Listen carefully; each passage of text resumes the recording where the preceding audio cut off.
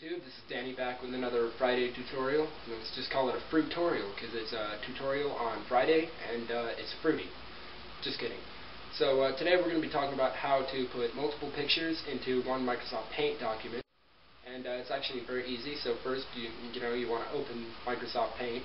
That's easy. Then uh, select the File button and click Open, and then just pick the picture that you want, or one of the pictures that you want. Then just minimize that window and uh, open a second paint.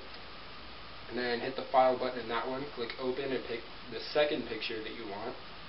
And then uh, click the select button, you know, it's a little dotted line square rectangle. It's a four-sided polygon, I don't know, it's a geometric figure, whatever you guys want to call it. Then uh, left click and hold to select the part of the picture that you want.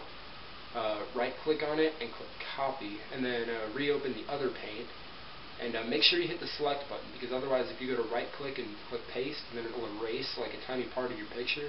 So make sure you hit the select button first and then uh, just paste the second picture into it and then you can resize it, you can move it around and do whatever you want. You know, you can color inside the lines, you can do whatever dirty little things you guys do, I don't know. But uh, thanks for watching, subscribe, rate, share, and comment and uh, I'll post a link on the video somewhere over here in this area here probably around this it, will be on your screen.